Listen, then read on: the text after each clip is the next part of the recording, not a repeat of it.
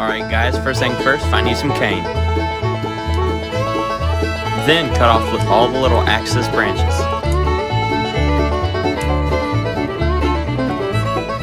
After that's done, let it dry.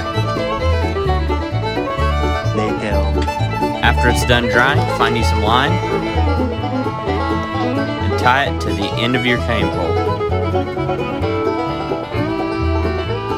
Then find you a hook out of your dad's tackle and go fishing. If you enjoyed this video, please like and subscribe.